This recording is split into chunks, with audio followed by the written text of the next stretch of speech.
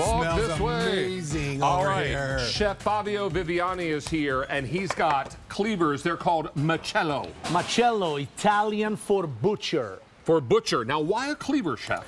Because there is no proper cutting without the proper knife. Okay. And uh, the only knife for cutting Yeah. that the average home cook need is something that is sturdy, solid, in two size, smaller and a little bigger. We This have the, the five and the seven inch. five and the seven. You Shall know, we hold these up just to there show? is a, there is um, a big debate about how many knife you should own.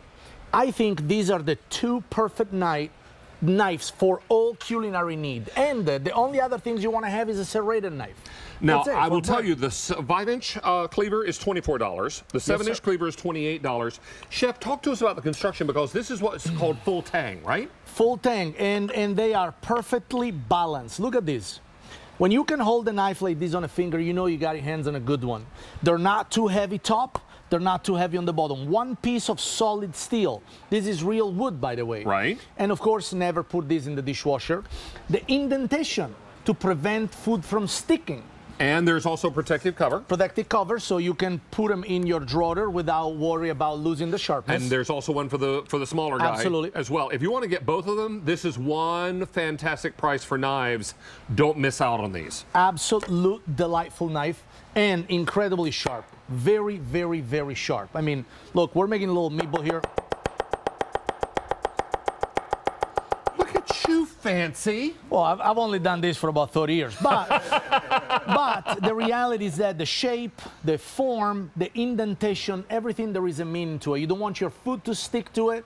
You want your foot to come off smooth, and you want the sharpness very, very edgy, so you have a quick cut without hesitation. Now, chef, show us garlic because you need a very sharp knife in order to mince this garlic. Look at that. How are you? How's everybody doing? Yeah, look at that. Doom. That's like little wafers of garlic that are going to melt into your red sauce. You- I mean, come on. It's impressive to watch a chef do their job, but any chef can can cut things, but it takes good tools to be a master, right? takes good tools. You know, I think the, the ability of a chef is really is in the tools that they're using, mm. David. And and with this knife, you can elevate your chopping game without any hesitation. Watermelon. It is it is uh, it's it's an incredible tool. Um, you know, they're saying that you are as good as the tool you're using. right? Sure, sure, sure, sure. And these and these are absolutely incredible knives. Now let me ask you a question, chef. How old is your little boy? My little boy is seven years old. He's seven years old. What is the number one favorite food that daddy makes that he loves? He loves all kinds of steaks, all kinds of chickens, all kinds of pasta dish. He's a real Italian kid that was born in the United States. That we got, we gotta say that he's American, born in the U.S. Yeah. But he has that Italian uh, 50% genes in it that makes him love. So he any kind of- loves anything that is protein. Now, here is something that I would be very excited about. These are cauliflower steaks, but you Yes. made a cauliflower parmesan. So cauliflower parmesan. So and, and look at this. We're cutting cheese, right? And look how the knife. This is mozzarella. It's the stickiest cheese you'll ever have in your life. It's mostly water, right? Yeah, or mostly milk? It's mostly uh, solid milk, and the reality is that doesn't stick. The, the way that we engineer this knife is truly to make the food just completely slide off. You got cauliflower steak. You need a thicker knife, though, by the way.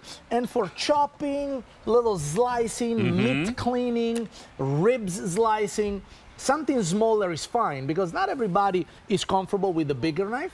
Right. So we created the perfect smaller knife that is absolutely operational in the same way of the big. Right. Same feature, same one piece of solid steel. Like you told me before, right? Most knives they stop at about an They inch. stop at about and here, then they glue it. and then they glue the handle on, this not is these. one solid piece of steel. And the knife should be an extension of your hand. Absolutely. That's why it's important when a knife is very well balanced because it, it's not top heavy and it's not handle heavy. I want you to think about the last time you bought a brand new knife and how cleanly and quickly it cut. Yes. And how good it felt to have a really sharp knife in your arsenal. But you know how much you'll pay for a really, really good knife. That's why shopping on QVC makes good such good sense tonight because the five inch knife is 24 bucks. The seven inch knife, is only $28. This is only $4 more. Get both of these because there'll be occasions when you need to cut something from both. Now, are these, uh, is this fresh basil? This is fresh basil, I Steve. smell it. Absolutely, absolutely delightful herbs. And by the way, there is a lot of issue in herbs getting oxidized. Yes. When the sharps, the, the blades are not sharps. Yeah. This is not a problem with this. Because Beautiful- it bruises or, or, or smashes the herb, right? Absolutely. Incredible fine, incredible fine edges, incredible easy to cut through things and, and kind of make incision when you cook meat And and, score marks, and exactly. score marks and, and cut the silver lining on steak and, and Now, Chef, you have been talking about your meatballs all night, so let's invite Big Bite out Oh, thank goodness. because you're going to be able to taste Chef Fabio Viviani's meatballs. Yes, and sir. David, what is my most favorite food? Meatballs. Meatballs is my most favorite food. And chef. it doesn't matter what kind, Is this you love for me them all. here? yes, sir. Oh, That's for you. Ooh, this is warm and hot. Fantastic. Oh, yes. Uh-huh. Delicious flavor. And that recipe is on my Facebook page and on my Instagram. Mm. Steve, How Steve- good is that? David gets the glory tonight of everybody. I had a chance to taste these earlier. They're quite delicious. Oh, my gosh. Don't miss out on this, and don't miss out on the knives. If there are any of these left after the show, I'll be picking up myself a